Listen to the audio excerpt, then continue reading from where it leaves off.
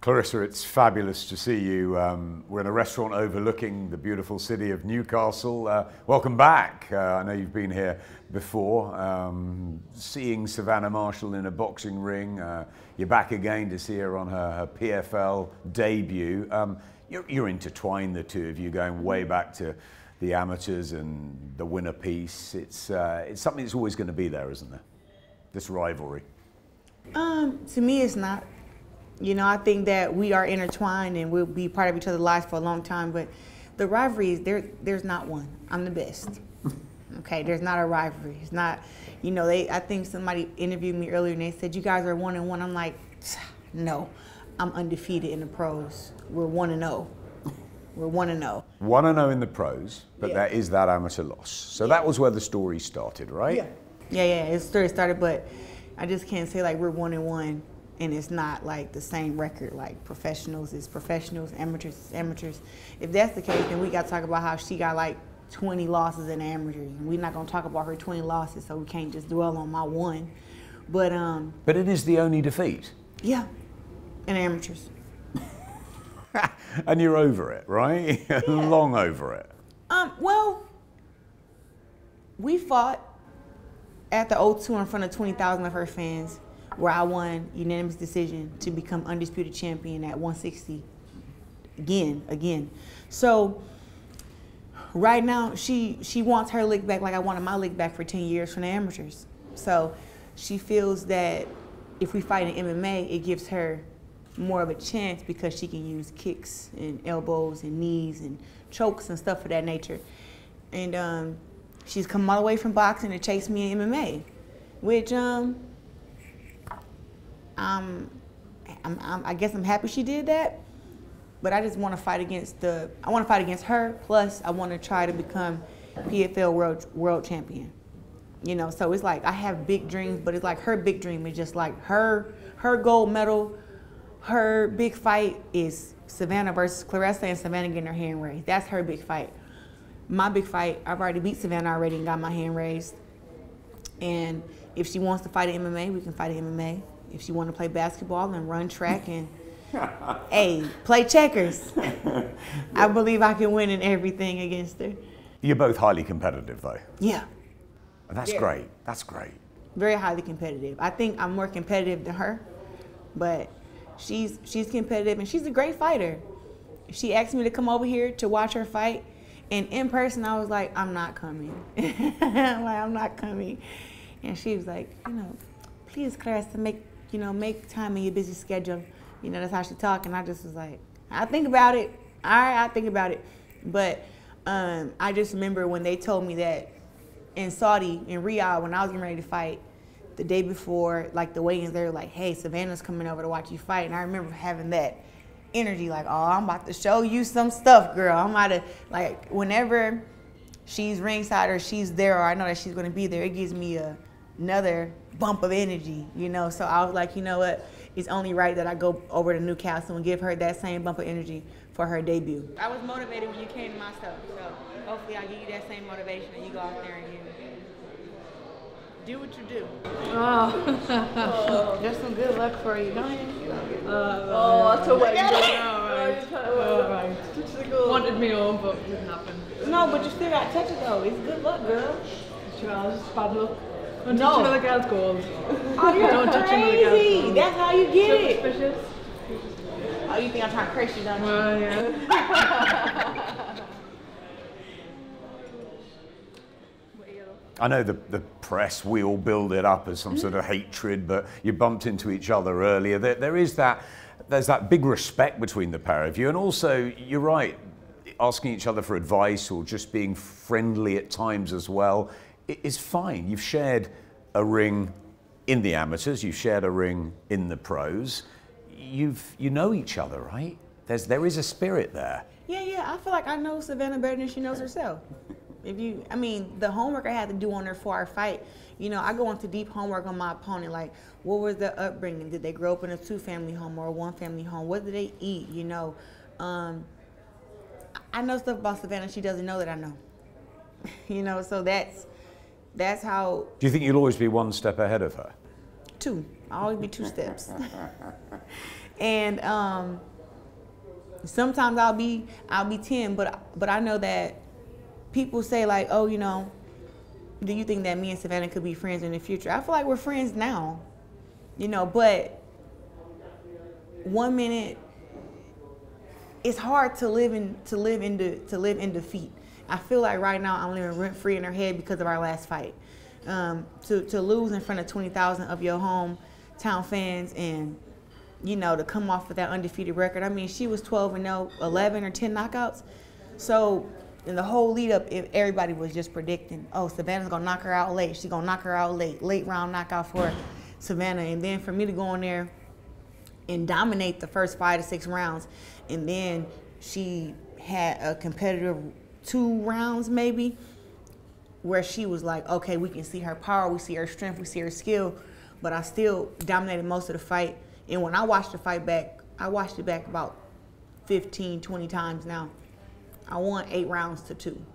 If you want to be nice, you can say 7 3, but eight rounds. You to won the fight. Yeah, yeah, yeah. You won the fight. And then she came back and, and she, of course, became a two weight champion. So she yeah, did- against franchise. Yeah, and so she did get that, but but it is true. She she wants to to follow you into the cage. There's no question about that. She wants to beat me in something. Boxing didn't do it for her, so she wants to beat me in MMA. And I mean, she's training hard for it. Yeah. Before we talk about her debut, how have you found your fights in MMA for the PFL? Each fight I get better. Um, it's it was it's difficult to train for MMA. That's why, like I said, we will see on Saturday because when I first came to MMA, I spent four to five months, four hours a day training MMA, and most of the time was spent on my back and working on defensive to takedowns and doing cage work. So you spend four hours a day, four months at a time, away from your family, away from your friends, away from your, you know, significant other. It builds something in you, and you learn a lot. And I think MMA, learning new stuff can come off as fun, but we all know if it ain't hurting, it ain't working. You know, pain is power, and I don't know if she put herself through as much pain as I did before my pro debut coming in. Why did you do it? For it, for the challenge? Yeah, you know, those MMA girls are a little cocky, you know. I know that's a lot coming from me, but those girls are just, just yeah, they're like, oh, we're better than all the women boxers. We can beat them in a real fight. They would never come to our world. Like, like their world is so much more superior than ours. And we all know boxing is harder than MMA. Like MMA, if you don't if you don't have good hands, you can use your feet. If you don't have good feet, you can go for takedowns and go for submissions. But you and your opponent are never equal because you're a black belt, they're a white belt, but they have kickboxing and a little jujitsu experience and maybe some wrestling. But you're never like, oh, this person has boxing, this person has boxing, kickboxing, black belt. They're they're never equal. So somebody always Different specialties. Right, different specialties. But in boxing, you got your left and you got your right hand. And that's what you connect. Your that's how you win the fight. To me, it's a more fair fight than MMA. And I, I think to anybody it should be. So when I hear people say that, oh, when you fight me in a real fight, it's like to me, a real fight is boxing. It's the most fair fight. You got your left hand, you got your right hand, you got your two legs, and we get to see who can either be the bigger puncher, sweet science, um, have the best plan, who's in the best shape, um, who got the better experience. Like you get to see that inside the ring, inside the cage. You see the belts get changed every year. There's never a consistent champion because there's always somebody who have a different specialty that can up the other person. It's never equal. That's fascinating, though. It's never equal. Savannah said to me that when she first saw you in the cage, she was laughing. She thought she's no good at this. She's She rubbish." did. She did. I oh. remember this. I remember her interview. She said, "Oh, she looks so silly rolling around in the cage. Looks so silly. You know, she's running from me." I remember. I remember this like yesterday. Did you think you haven't tried this, and you're gonna you're gonna find out if you do? I remember when I when I seen that interview because I like my first MMA fight. I got caught in the armbar. Um, I got out of my armbar. I lost the first two rounds, which were five minute rounds. So I lost the first 10 minutes of the fight and came back with a huge victorious knockout in the third round. So we can breathe. Yes, thankfully, you know, because I let my hands go and sprawled on time. But I just remember, like, after that, I was very, very proud and very, very happy and proud of myself because I put in so much hard work, you know, and leading up to my debut, it was so many times where I would go back to my dorm at Jackson Wink and I'd just be crying, like, why am I doing this? Because it was so hard. Really? It was so hard. And it was like, I didn't understand jujitsu for the first month. And I was there four months. And then one day it, it finally clicked and I was like, okay, okay, now we're getting somewhere. But I, but I went, but I went home for a month and I just was like, I went to the gym today. I trained four hours and I feel like I don't know nothing.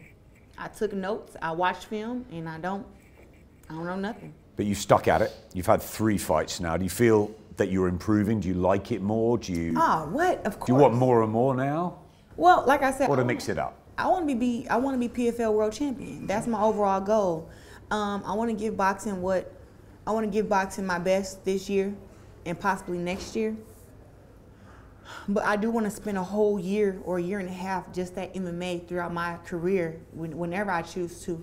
Because I really want to go for the PFL World Championship. I want to prepare for the season. And I want to fight through the season and be one of the women standing there at the end fighting for the million dollars. You know? Uh, right now, the PFL champion is Larissa Pacheco. Bad chick.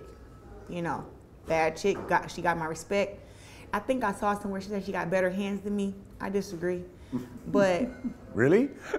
yeah, like oh, okay, but she she do knock girls out. She hurt them, Yep.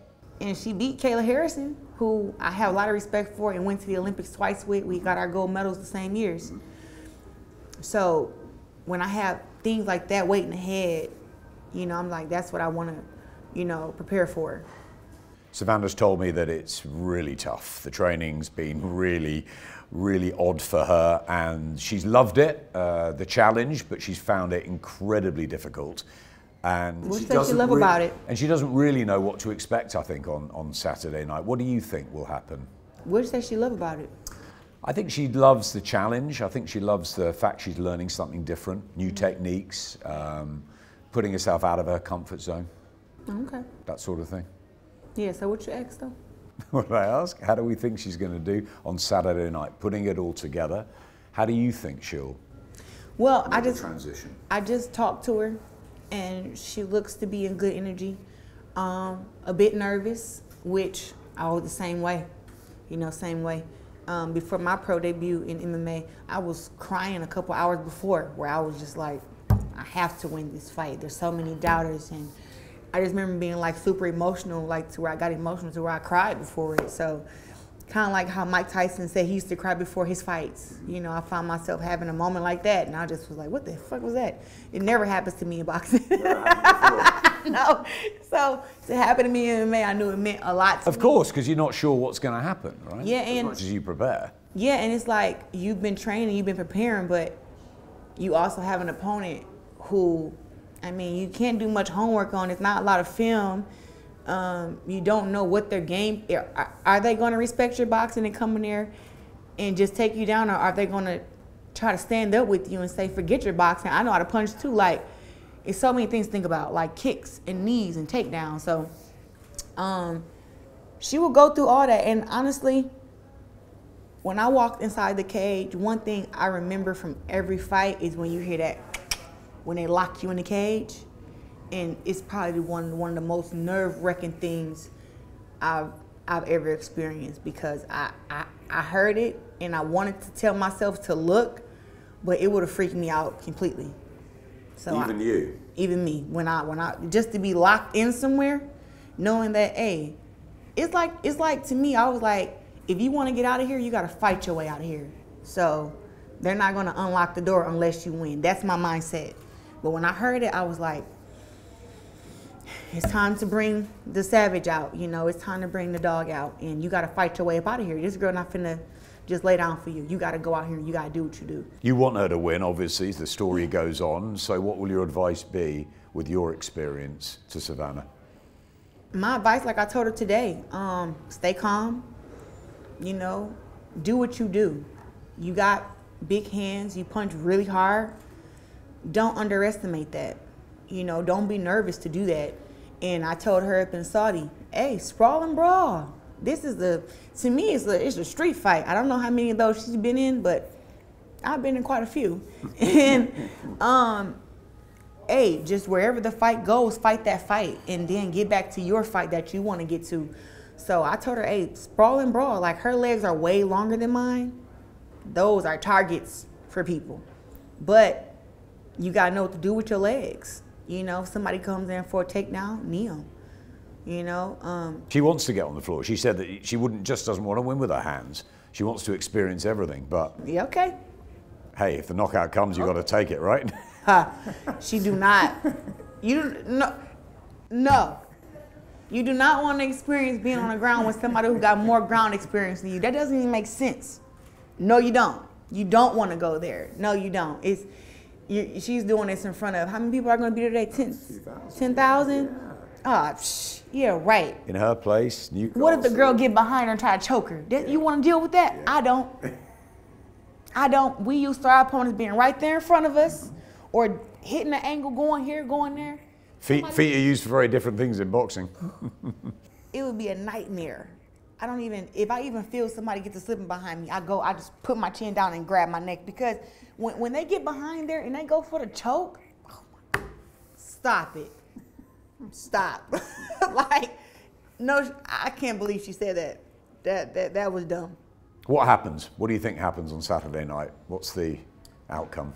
Um, I think the outcome is that she wins. I think that she will struggle. I think that she will struggle, especially if she has a girl who's who doesn't care about who a girl who can take a punch mm-hmm. and get to her legs and take her down.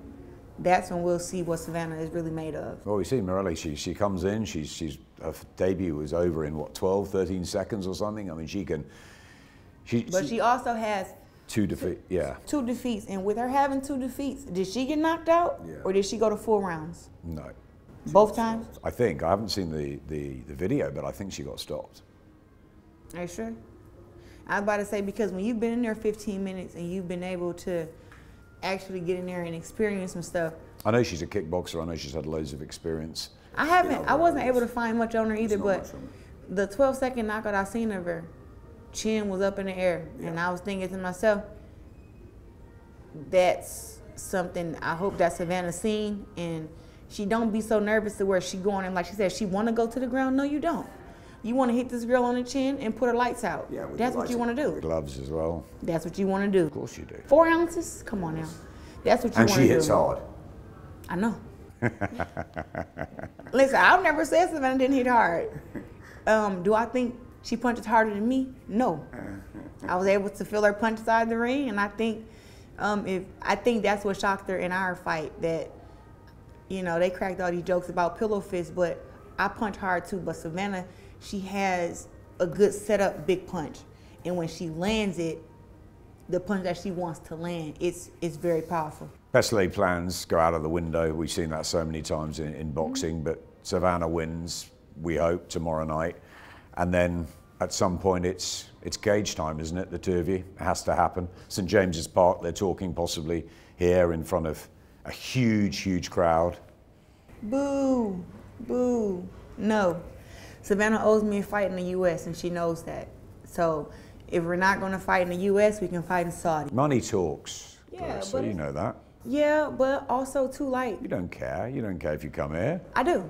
Really? I've seen the red slippers in Cardiff. I've seen you have some fun over here. You, you don't mind where you are, no? No, it's it's all right, but well, I love fighting over here, but it's the fact like she owes me a fight. She owes me a fight, and I'm a superstar in America, and she's my dance partner. So come dance with me in America. If she want to even be fair, come fight me in boxing in America. Then we can do the fight for MMA over here. But let's but let's make it fair. We shouldn't have to do all of our fights over here, and I've won. Dance partners, definitively. That's that's going to be the story, isn't it? I mean, I know that you've got another fight end of July. We're going to light heavy, maybe heavy. It's we, we talked earlier about how many belts you could end up being, how many divisions you, you've now conquered. Um, almost too many to count, but you just love challenges, don't you? I do. I'm a competitor.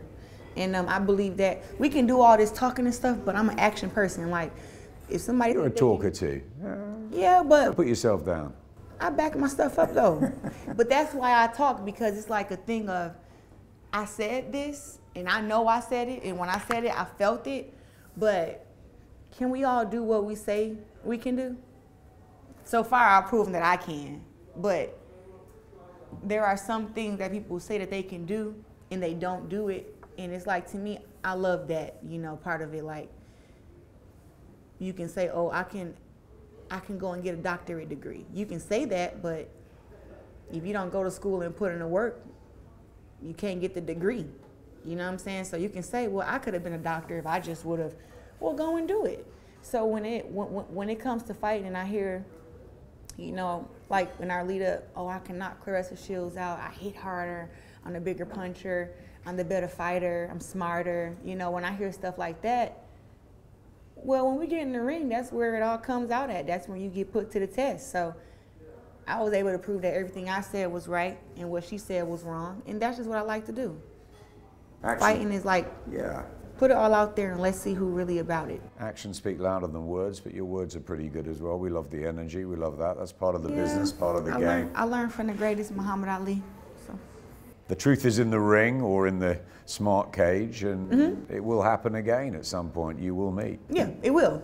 And it doesn't matter which one of me. Like I said, we can fight MMA, fight boxing, run track, play checkers, play basketball. I win in all of them. End of July, you're back. Yeah, heavyweight.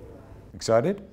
You know, I'm, I'm, I'm, I'm ready to see what these little hands can do to those heavyweight girls. Um, you know, heavyweight boxing has been something so huge in the sport of boxing throughout time. And now I'll have my name mentioned with Mike Tyson and Evander Holyfield, Anthony Joshua, Deontay Wilder. Crazy. And I fought as low as 154 pounds. So to be jumping up two weight classes, the fight holds its challenges for sure. But I feel like my skill and my power and my experience will get me the W. And that I'll be able to show, like, now I don't have to lose the weight because I have to lose weight to make 60 and 54. I think that they'll be able to see my full power because I won't be so, um, you know, drained from making weight. So we can see how strong I really am, how big my punches really are. And I just can't wait to hear how they sound, honestly. We're looking forward to that, both in boxing terms, but also in PFL terms. You're loving it, and you want to be that PFL world champion as well. Um, I am not loving MMA. I hate when people say that. It looks that way. I mean, I won my last fight. I got out of an armbar. I won, it, but it was it was a split. To me, I thought I won unanimously, but it, it was a split, and I still have so much work to do in MMA. What about the one you lost? We haven't talked about that. Yeah, when I I lost to Abigail, I felt like I won that fight too. Like it was a split decision loss, but I just felt like as far as in the damage, I caused more damage to her than she did to me. Did it upset you that you got that loss because of oh, you yeah. don't lose? Oh yeah, it pissed me off really bad. I mean, but you know what? The loss didn't the loss didn't feel as bad as it felt when I lost to Savannah in the amateurs. It it was like I had to give myself grace with MMA because it was like I remember telling myself like when I was really mad about the fight and I was crying after the fight and I was just pissed off. I'm like, how did I lose a split decision? I put in all this time, I lost. And then I remember telling myself like, you're not the best fighter in, in MMA, stupid. And when I said that to myself, I was like, damn, I, I, you're right. You know, let's not jump the gun here. so me telling myself that, and you're just like, give yourself grace. You trained hard. You lost a split. You didn't get submitted. You didn't get knocked out. You just lost a split decision against a girl that got way more experience than you. Like, we all want to have the perfect story where you win, win, and you win, but it's all about how you come back. And that's what I was uh, saying to myself. But I remember when I lost in the amateurs, it was three, four months before the Olympics. And I just remember hearing all the, all the negative comments. Oh, she's too young to be going to the Olympics. All the other girls are older than her. She's not strong enough. She's not skilled enough. Um, that tall Savannah girl beat her. She's gonna beat her again if they if they match up. Any any tall girl can beat Claressa Shields. Like I remember hearing this stuff, and I even heard you know this is so far back then, but Marlen was talking to somebody in our room and she didn't know I was in the room and she was like, you know, Claressa's not even going to get a bronze medal. Like, I don't even know why she's here. She just punches fast and she has no skill. And she was really upset when she was on the phone talking to whoever she was talking to. But I remember um, when Marlen had said that and she realized I was in the room and she turned around and I mean, she had this look of like, of like just crazy fear because I'm dangerous and I, I can be pretty more dangerous when I'm, when I'm upset. But I remember being like this 17 year old girl looking at my, like somebody I looked at as a sister and as a role model. I remember being like hurt, but her saying that gave me so much power and fuel because it was like, I'm gonna prove you so wrong.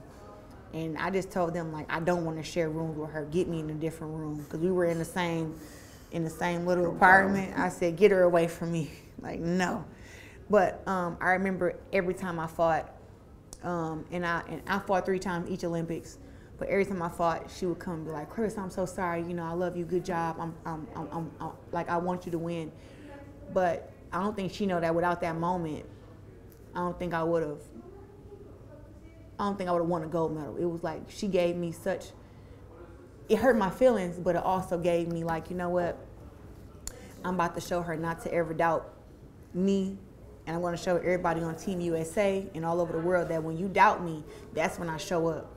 Fuel to the fire. You conquered London, you conquered Rio, you've conquered boxing. Can you conquer the smart cage? Mm, look at you, look at you. Um, I can conquer the smart cage with a lot of hard work. That's why I said I know that I don't know when, but I will be giving MMA a year and a half of my time. I don't know when because I don't know what can happen with boxing and when I'll get the 10 million or 15 million dollar Saudi Arabian money from Turki Alalshikh. but we were talking about that earlier. Yeah, but you will give it at some point. And I will give dedication. it and then I will yep, absolute dedication, no distractions. And we will see what I'm made of, but people got to know that there's no way I put in that much time and dedicate myself and don't win. Like it's to me, it's just impossible. Like when you put in the hard work and you train hard and you dedicate yourself and you sacrifice, there is no other option but to win. So I feel like I can conquer it. I just have to do it. I have to do it my way, and my way is P5. You know what that is? I know you're going to tell me. Yes proper preparation prevents poor performance. I, I literally live by that. You know, I, I go, I live by that every fight, every MMA fight. Um, when I have speaking engagements, proper preparation prevents poor performance. Like that's, that's just what I live by. Totally agree. It's been a pleasure. Same. Great to have you here. My guy.